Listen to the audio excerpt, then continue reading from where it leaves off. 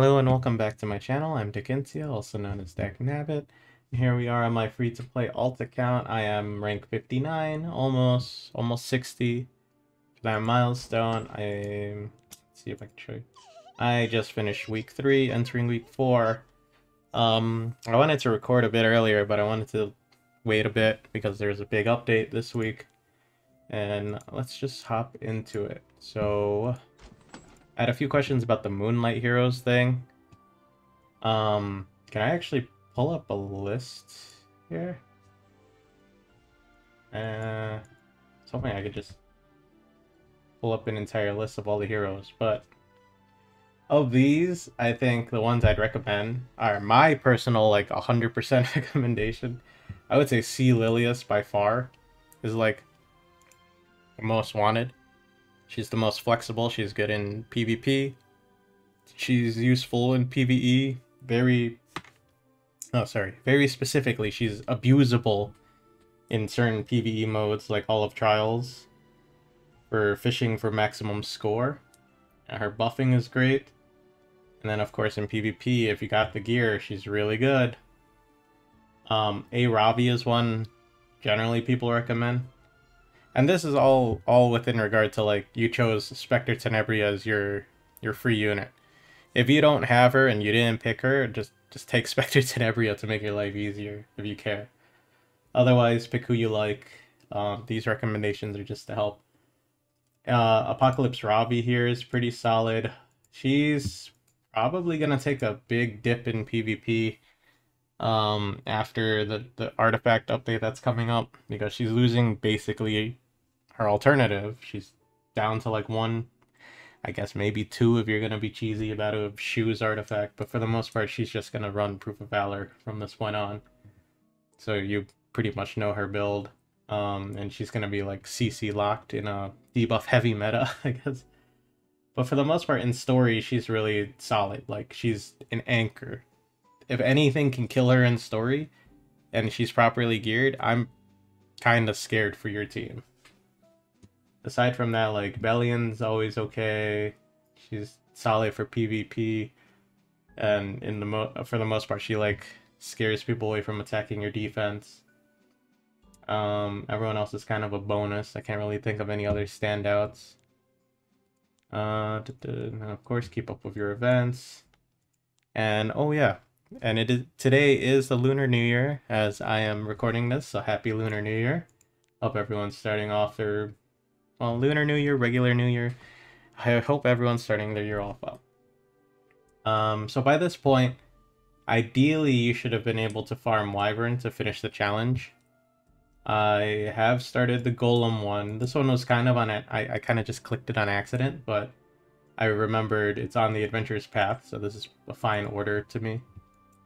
Vivian is definitely way more useful than Cermia, but might as well try it to finish the adventurer's path. Um, it eventually leads you down to like doing expedition and crafting and then doing higher levels of golem, which is fine. Today's the hunt event. I would have liked to finish um, clearing earlier. So I just finished episode 2 when I got time because of a huge patch update. So let's talk about that one. So this huge update reworked unrecorded history and side story. So in the side story, depending on your progression of the main story, you can now target a side story that has that features a character that showed up in the in the main storyline at that point. So any of these characters, I can go to an event, go to their map, they're boosted here. I get all of these rewards from their store. And honestly, you don't even have to care about fully clearing them. It's not a big deal.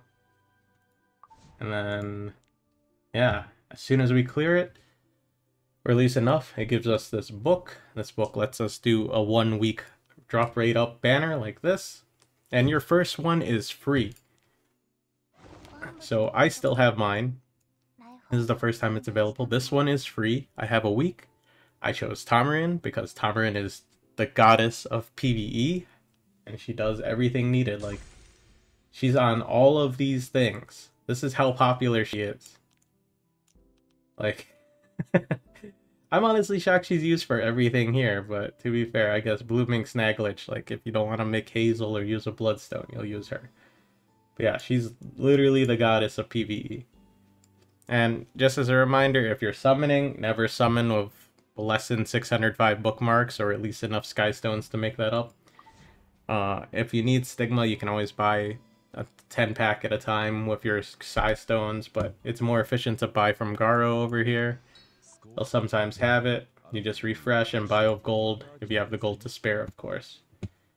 Um, so let's talk about recommendations really quick from Side Story before we move on. So of course, Tamarin, if you didn't re-roll for Iseria, or if you wanna, if you're making a new account or looking to start playing, and you started with this episode for some reason, Iseria is now in here. So we get Tamarin week one, get Iseria week two. You're all set. Uh, other recommendations: Vildred is honestly back on the table. It's not a huge investment for him. Uh, he's pretty good for clearing story, side story. He's good for labyrinth in the beginning, like lower level labyrinth. He's good for he's good for uh, Azimanak and Banshee, I would say to an extent, mostly Azimanak. But he's also good for Blooming Snaglich Expedition. He's one of the like easier to obtain DPS for that one until later. So Vildred is good.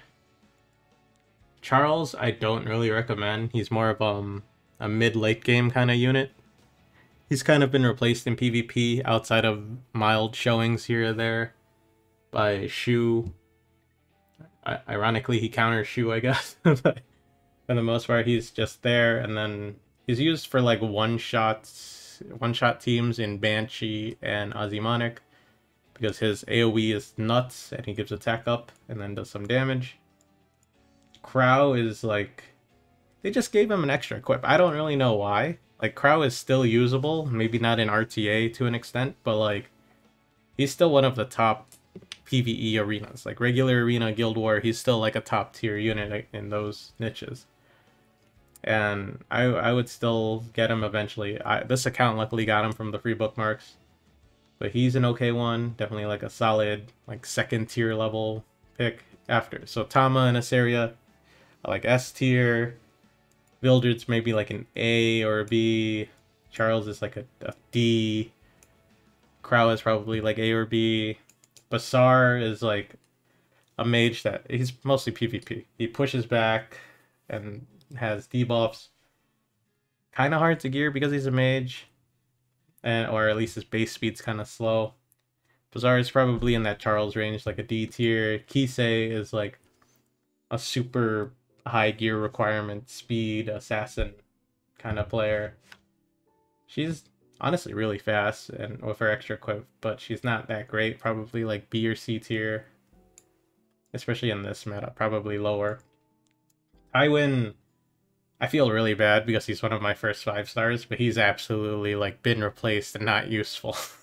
like, I really don't know where he's he's used, but like he has like a, a push up that does he buffs. He has defense break, but for the most part, like I'm pretty sure Flan's available in one of these, and Flan is a straight upgrade to him. Has lower gear requirements, is a better class, and because her defense break is not an attack, it doesn't have like elemental disadvantage.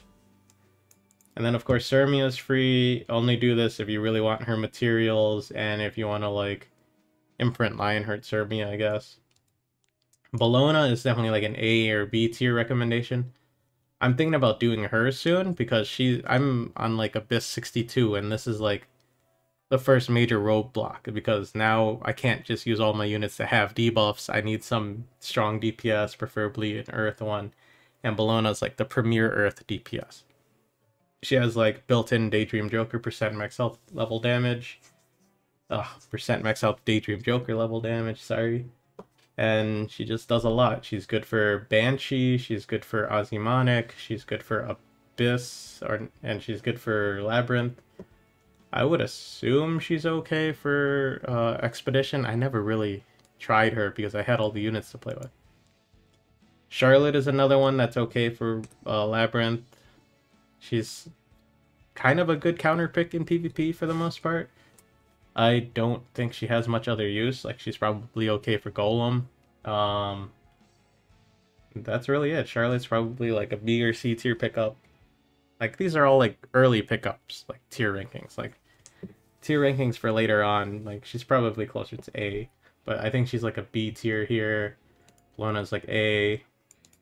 Celine is 100% a PvP unit. Like you you will basically never use her in PvE outside of when you can because she she reacts to non-skill attacks. She just nukes one unit and follows up and like she just hits really hard. So in contained PvP, she that's where she shines. So as a new player, probably like a C or a D. Um, Chloe is specifically for Wyvern and like the weird 100% one shots I use for other hunts. So she's 100% a late game unit. I do not think she's that great early game, and her gear investment is eh. Like you get Sigret for free, and you get Alexa for free. like I can't honestly recommend Chloe unless you just like her. So she's probably a D. Melissa's a really cool PvP unit, not much use from PvE. I think there's like one or two off the top of my head. Um, so probably a D. Haste, unfortunately, after their buff, he's still not that good. So probably a D. Maybe, like, even with the gear, I, I think he's a D. He's only used, he's like, we have Ran at home, Fire, and Slower. Uh, Destina is definitely, like, one of the premier cleansers in PvP right now. And she's a reviver, has some decent healing, can push up your team, or push up one unit at a time with her S2 extra equip. Um, honestly, I don't think she's worth pulling early. At least for Soul Weavers, I have a third one, another one in mind that's way more important. Um, because you'll have Tamarin and Montmo already, and probably Angelica if you care. Maybe you pulled Achates too, and she's really good. I didn't even do this one. I, I didn't realize that despite this first week, I would lose this side story. Can I replay it? Yeah, I can replay. Okay. I I didn't do this one, so I, at least I don't remember clearing it, but maybe I did. I I lost that one if I if I switch now, but I'll find out in like three days. There's nothing free here. But yeah, so episode one. Iseria, Tama, and then the next tier is like Vildred, Bellona, and then the next tier is like Destina, Proud and then everyone else. I think it's fair. Episode 2, Violet's for the most part a PvP unit. He's just really annoying. Can kind of 1v4 on certain mode or matchups. But PvE usage is kind of limited. Kawerik is 100% a PvP unit. I don't think there's anything I've actually used him for in PvE. He's a high speed, damaging mage, like assassin mage kind of play. Uh, Vivian you get for free, but imprints on Vivian's imprints are honestly really strong, so she's not bad. Uh, Lilica is actually a really good debuffer in PvE and a good supporter. So maybe Lilias is a really good tank because she just spams dual attacks over S1. She has a cleanse for your whole team. She's pretty solid. Lilibet is only used in Ancient Inheritance and PvP as far as I can think of, and the Ancient Inheritance thing feels like a multi-level marketing scheme to me.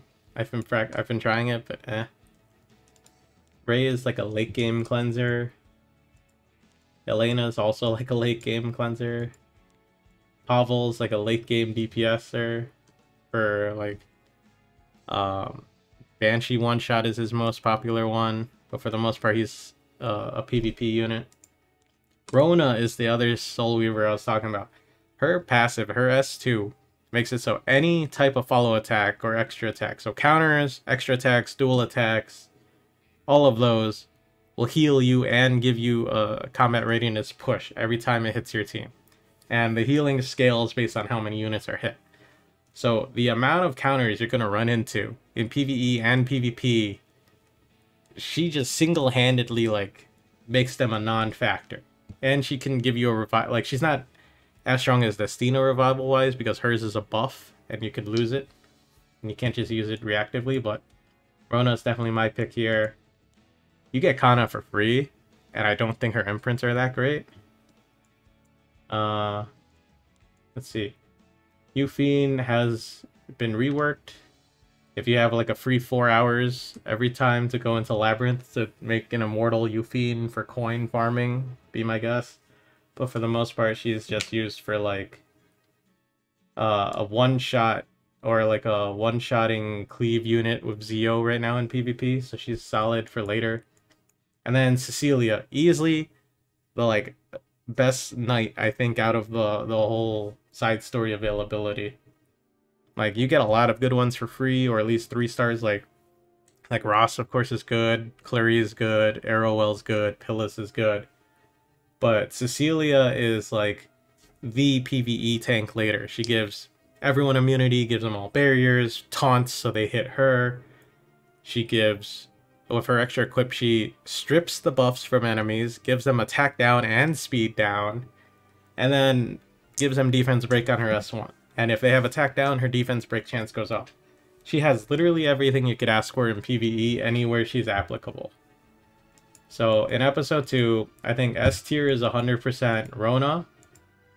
And then followed by A tier would be Cecilia, um, Lilica, and then Lilias. And then B tier would be like the, the premier PvP units, like Yufine's okay, Pavel's okay, Violet's okay, and then everyone else after them. Episode 3, Choux is currently PvP meta. Takes quite a bit of gear, I'll be honest. Like, she needs a lot of health to work. Uh, but for the most part, she's pretty good and she's used late game in Labyrinth. Episode 3 and 4 are noticeably harder than 2. So by then, you guys will probably be like mid-late game. Mid, well, probably early mid to early late game. Unless you're lazy. Ervalen is...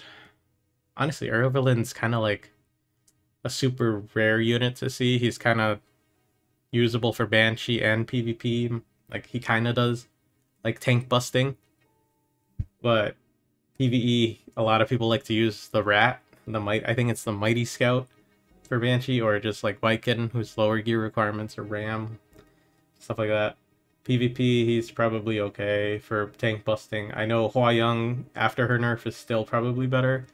And for tank busting, you usually can't just rely on like the one unit that just nukes them if they can't do anything else right now. Especially in this control meta. Flan is probably one of the the units, the best units for like lowering gear requirements for one shots. She has defense break, and she has a CR push on S2 that gives crit damage and attack up, so that lowers all of your gear requirements. Ilynav, I, I specifically use for my one-shot comps because she gives crit damage up and nothing else. I mean, like, her AoE is kind of nice, but I don't really care about it. Mort is a very niche PvP unit. And then Yufine's here again. and then Senya is a really strong PvP unit right now. Kind of high gear investment needed to make her really perform. Not really much use in PvE outside of one expedition. She's actually not a bad bait for that one. I'm kind of considering building her for that to see what it's like. This account, I don't plan on doing my 100% clear teams, so I'll invest around here and there. Valencia, oh, one moment. Alright, sorry about that. Just had someone at the door. But yeah, um, Alencia, Alencia is honestly a really fun unit. I enjoy a lot about her kit. She has defense break, a follow attack, uh, up attack, and injury on her S1 because of the buff from S2. And then she has um, a strips all buffs on S3 that's AoE, gives her defense up. She's a counter to everything in the meta, kind of. Like, she's good against Diane, good against Choux, good against Senya, or at least old meta, I guess, before the Ranger stealth meta, debuff meta we're in now. She's a good counter pick into Senya, Choux, A Ravi in particular. Uh, really fun, not really great in PvE, pretty cool overall. Ida is probably one of the best. I think they're. I may I may be wrong because I'm not a cleave player, but I believe I believe she fills the like bridge role. So it's like you AoE with like Ron, and then Caesarea pushes you guys up. Ida follows in cut and do AoE damage, and then they finish. he does pretty good as an AoE cleaver. Ron is, of course, probably. I think, like, when Cleave is in, Ron's probably the best opener. Like, if you have Book available for 20 souls, you just S2 for attack up, and then you S3 with Soul Burn to guarantee applying Stigma and defense break to everything, and does big AoE damage. Um, though, of course, with cleaving in general, like, you need high speed. Ron has a high base speed, and does need a bit of damage if you want him to pop off. So, the episode 3 is probably when you first run into, like, the first batch of mainly PvP units. Uh, the only real PvE unit in here is, like, Blanc, and then to a lesser extent, Ervalen. Um, Choux is pretty good for specifically one Nightmare Raid boss. And then, I guess Ilynav, until they buff or rework her, she's kind of usable as like a crit damage buff in PvE, but that's really it. Everyone else is just pick who you, you think is fun, like if you're gonna be a Banshee or Wyvern farmer kind of decision. And then of course episode 4, this is the hardest episode, it's our current one. Uh, you'll get Adin this one for free as a 3 star. All four of her elements unlock over the course of the chapter. Hua used to be like the queen of everything, and then they broke her well, she already doesn't have, well, spoiler, she doesn't have working or great arms. And now they theoretically, or quote, broke her legs for PvP. She's still really good at one-shotting tanks. But that's all she does. Like, her S1 hits like a wet noodle. Um, yeah, that's pretty much it. She just, she's more one and done now. I feel like I use her very rarely. And some Senyas don't have enough HP unless you get like a really low HP like Hua to actually kill. Aside from that, she's okay. She used to be like god tier until that nerf. Uh, Peira is probably one of the better cleave openers too. She's really good with high speed. Has like uh, an interesting redirect mechanic combined with her stealth and giant barrier. She was pretty much the, the unit barrier inversion was designed to destroy. It could one-shot most Pyros. Um, and then Arya's really come into like her own niche in PvP as like the premier counter unit. So like she stealths her allies and then everyone has to hit her and eventually she'll hit two units on her counterattack and eventually do a massive AoE one with her S2. Um, more of like a, a mid speed to low speed team now. Like she's usually like 160, 180 ish on lifesteal and effective resist, so they don't like strip her buffs because she doesn't have a natural counter. It's a counter buff. So she is still vulnerable, kind of like Senya to being stripped. But yeah, she's popping off recently, especially in Guild War. Uh, Taeyou, the unit designed to to counter Peira with Hua in Guild War, but he never got ignore effect resist, and the stat investment for him is really high to be like mid tier. I've seen maybe one Taeyou ever that like did their job properly, or at least did something surprising. So I don't know really much about countering him, but yeah. And yes, he is an ice unit if his design didn't give it away. Uh, Zahhak is probably the, the like rising star of this generation. Has massive injury on S3, can crit Choux and Senya through all of their mechanics because of the, the way crit bonus works on his S1 and S3. Um, really fast. The new extra equip that lets him put attack up.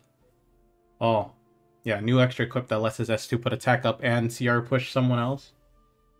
Oh, he just is a great like single target nuke bridge kind of unit. Or he can even be your opener, I guess. And then Yulha. Everyone thought she'd be useless. Oh, sorry. Everyone thought she'd be useless after the Hwayoung nerf because we can't see her in defense anymore. But as it turns out, you know, uh, when you give Krau's kit to a unit, but make it better, because now she has healing if she kills a unit. Like, Krau doesn't heal when he has threes. He gets a giant barrier, But when Yulha S3s and kills something, she heals. And then, uh, unlike Krau, she's really, she doesn't care about debuffs, because if you drop her to that threshold, she cleanses everything, gives herself a barrier, and pushes herself up. So Krau can get permanently locked down, but if you don't have the right cycle, Yulha's gonna get that nuke off. And then of course redirected provoke is arguably better than provoke. You know, it's guaranteed to go to the highest health. Um, so she's surprisingly good despite not having as much usage in Guild War. And then Sharun, uh, she was like the introductory of Venom, which is like super poison with injury. She's kind of okay. Um, I'd say she's kind of hard to use for the most part. Has a very niche case. I know there's some top Guild War player that uses like Sharun Fighter Maya Roana to counter every single Choux Senya team on defense. Because they just kill them over like 10 minutes or something. And then Lua, the the current disaster, I guess, of the meta. She literally does everything you could want an, op- an opener. She gets, she's fast. She's a ranger, so she has ac- access to guiding light, which stealths you on every turn, or 80% chance to stealth you, sorry.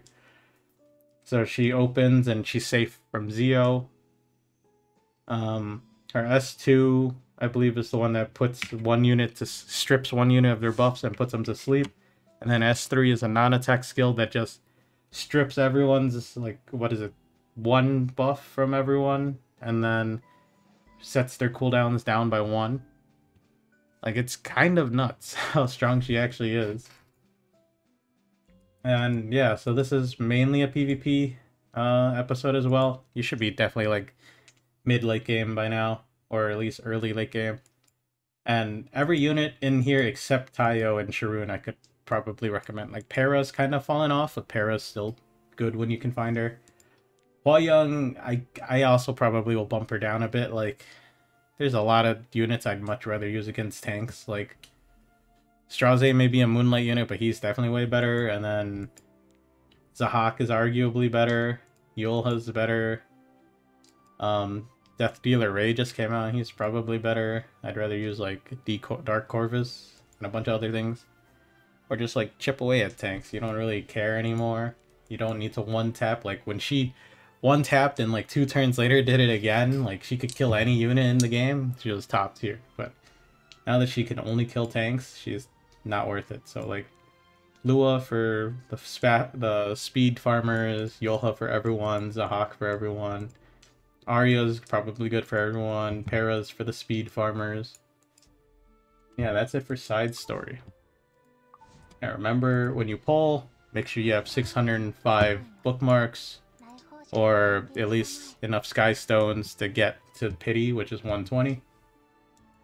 Um, I'm sure there's plenty of people who have like ranked what characters to look out for in the rated up. I, I don't really plan on doing that unless someone asks. Uh, arena, as I said, like you just keep doing it, get points. Um, today was actually the first day I've been attacked this whole week, so I actually had to attack back. But for the most part, um, as long as you keep attacking NPC and then like constantly retrying against one, you'll still earn your passive crests. But I think like how active you are in the actual ladder is how active people will attack you. After like the first two weeks or so of surviving, it kind of resets and no one really hits you. Um, so Masters is where I float. I don't really have any units to fight up. Uh, at 60, you unlock real-time arena. Um, so the season ending just got announced for us as of this recording, like last week. So it's like first week of February. Uh, I think Decay is three days. Should say it somewhere here. Uh, here. For gold, it's seven days. For masters and above, it's three. You need to hit masters and above if you want the skin of the season. Um, so wow, I can even if I I don't even care. Like I'm I'm just gonna this account. I'll just do my ten placements, which I recommend everyone doing because you just get a lot of PvP crests. And if you somehow manage to get higher, like hey, it's more crests, and then you get the skin if you get even higher to masters. Like I guarantee you, if you were farming, you get it. And then I didn't realize this, but this is still going on. I thought this was um I thought this was just for whatever the World Championship. But hey, a ring until May? I'll take it. Okay, so see, I've gone over side story, I've gone over PvP goals, I've gone a bit over the hunt stuff. Um, the adventure, I'm actually gonna, well, this, that we have an event going on, so I'll probably dive into adventure when it switches over. See how far I can get with literally just Tama Saria combo. I'm not too worried. Um, specialty changes are in. We we went over that last time. Uh, I guess the new unrecorded history is something to talk about. So they made it so it's just 33 maps on one. So you can actually get all the Ras and Mercedes imprints again. So I, I don't actually know what to do with the extra ones. I mean, people are like, oh, maybe we'll get an, an ML Ras eventually or something. I'm like, all right, three free imprints, I guess. Or the Mercedes ones, though, or Mercedes. Uh, I don't actually know how they. We just call her Meru, but you can use those for her Moonlight counterpart, the Celestial Mercedes. Um, the Archdemon version has their own thing from Golden Transmits, so it's whatever. You can clear this at your own pace, get all the rewards again. I did, I mean, if you watched the other videos, you should have known. Like I told you to clear it out before the new version came out. You do get to double different rewards. Uh, just a brief touch on that. Expedition wise, uh, I think Blooming Snag Glitch is probably one of the harder ones because you don't really have any units that can hit two targets or have only AoE at this point, I would assume, unless you've been pulling a lot or they were like good banners. Like Tamarinne's probably the best healer for this, even if her combat readiness push is negated. Uh, because when she's in idle form, she does heal, give attack up, and her attack is double. It is AoE, and it has a strip for his attack buff. Um, DPS-wise, Spectre Tenebria when her S3 is on cooldown hits two targets, so that's fine. Ras is probably your best tank if you don't have Cecilia. And then Mercedes is your best DPS if you can get her. Eventually you'll get um, Kana for free, and if you get the Bloodstone artifact, Kana basically replaces your healer, and you can go triple DPS. You can stack as many debuffs as you want in this fight. The main thing is you gotta hit AoE or two targets at least. And you gotta make sure you like, every time before he has threes, you gotta make sure you pop the, the crystal with him to get the, the, the buff that protects you from his poison. Brutal Ferris, um, like, just looking at the boss, you think it'd be really easy because, oh, he's the same type as Wyvern, he's, he's weak to ice. Uh, except he also cannot have more than three debuffs at once or he'll just reverse Uno card you and debuff your entire team. So like Furious is actually kind of bad here because of his burns. Um, Sigret is kind of bad here. Specialty change Ras would be great here. A normal Ras, not so much. He's just kind of placeholder. Tama is by far the best healer in this one. Um, there's definitely other comps like Montmo is a good healer here. Angelica's here. Even Elena without anything like on works out. I I used like a doctor's bag Elena when I was trying to make Rima work in this one. yeah, that's fine. Uh, most DPSs are kind of bad here. Like Cermia is probably the best one I have because she only has unhealable. But this boss, ideally, you should only use two debuffs. Defense break and speed down. Which you don't really have from everyone. Like even Iseria has a bad type matchup and as unbuffable. So it's overstacks like Free Spirit Tieria might might be the best one because it's attack down, defense break. Um Yeah, for the most part. Any ice tank will be fine, like Rose is optimal if you're using like Terran or Terran or Guard comps are pretty good.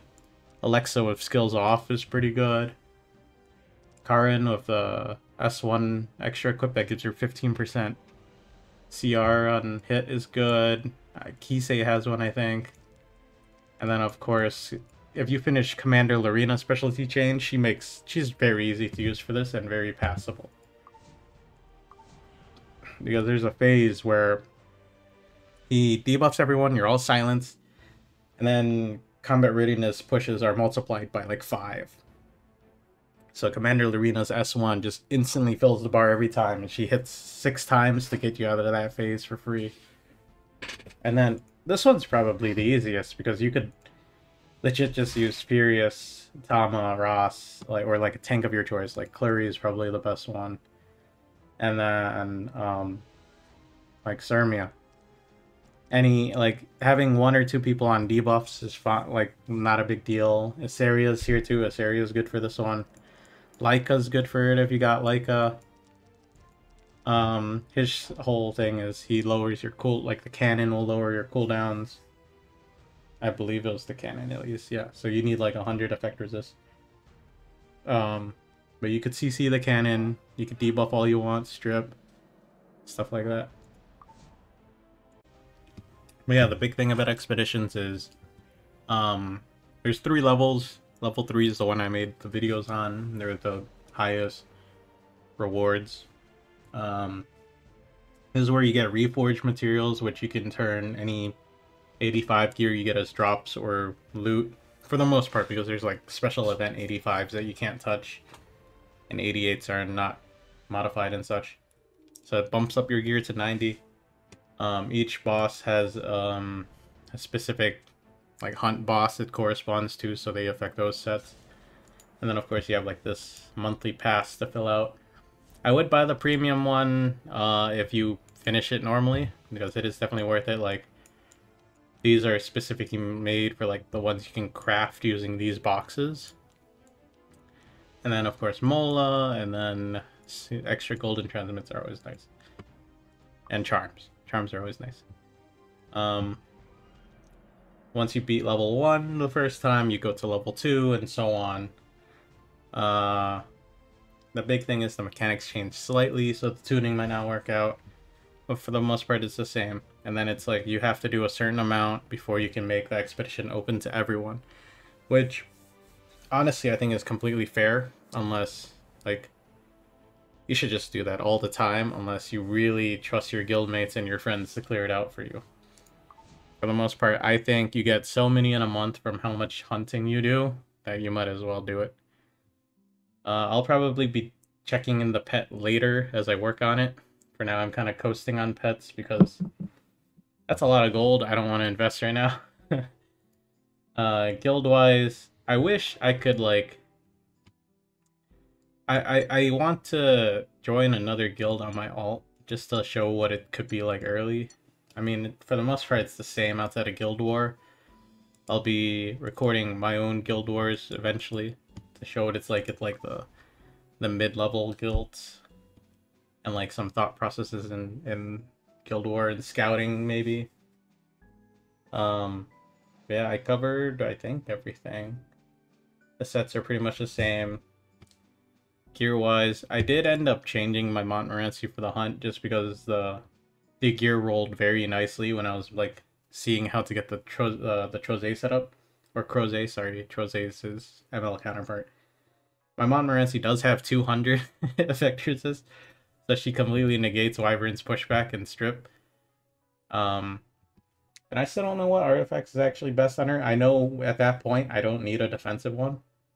I think Magara's Magahara's Tome, the one I put on Tamarinne, is probably better on Montmo because it gives like big CR every time she S2s and S3s. But I just kept the PvP one on her. I have a prophetic candlestick, so anytime she gets hit, once like once every time she cycles, she can like lower her cooldowns. So I was like, oh, that's it's a funny thing to do in PvP with a healer, using it for hunts.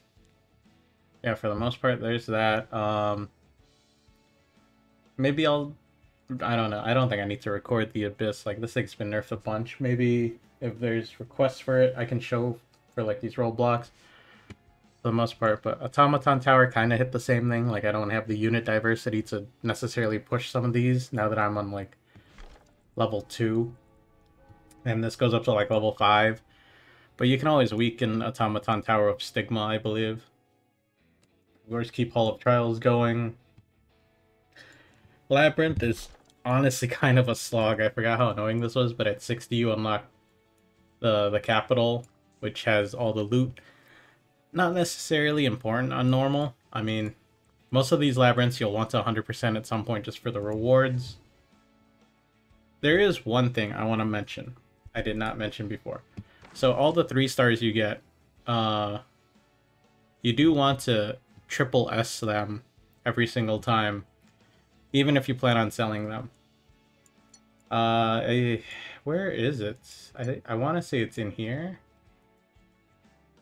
Maybe it's in here. There is a...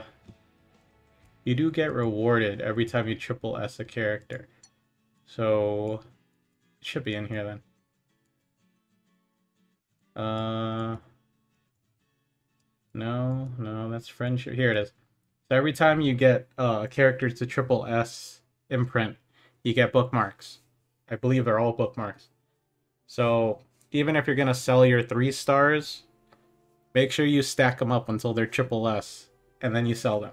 I think this ends at like the eighth, maybe tenth time you do it, but that's still like almost an entire pity's worth of bookmarks alone. Um, there are two in particular. Maybe, yeah, two in particular you want to keep an eye out for. So one is... There's one three star and one four star. Do I have them here or did I put them away? So let's see. Um, so for three stars, you want to keep an eye on Aether. Because Aether is a three star that has a Moonlight four star equivalent. So if you ever end up getting a duplicate of those, I actually did not get one until our targeted summoning event for Moonlights. So I, I put all of my four star investment into getting Aethers, and I got a bunch. You can invest the three stars into that four star one to maximize your transmit stone bonus. And then the same thing applies to... Do I have one? I don't think he's in here. There is a Fire 4 star. Here, Corvus. You can be Corvus has a 5 star Moonlight, uh, Dark Corvus, as you guys can probably assume. And you just throw them all in. If you ever get a duplicate, this is like a free, like, 200 something, 300 something stones. And it's really easy to imprint Corvus as is, so... Yeah, those are two big ones. Uh, I can't really think of anything else to discuss now. Hopefully that's a good check-in for week three. I mean, I, I think I covered everything, so at this point it's take your own time with the story, enjoy it.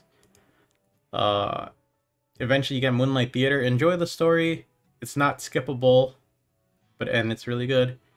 And then these Advent stories, I may I do make my own clear videos about them, but like Man, I'm not even sure you should try at this point. Like, I don't, I don't think I even have nine units to field on this account. Like, I'm pretty much running all the free gear, and then I'm, I'm dumping all my leaps to farm today. I don't think I have enough charms to do everything. Like, maybe by the end of the hunt challenge, I'll have it because that's three HP sets, three attack sets, and then whatever else is free. But yeah, for the most part, keep on going. If you have questions, I can try and answer them, but yeah. Thank you for joining me. Have a good one.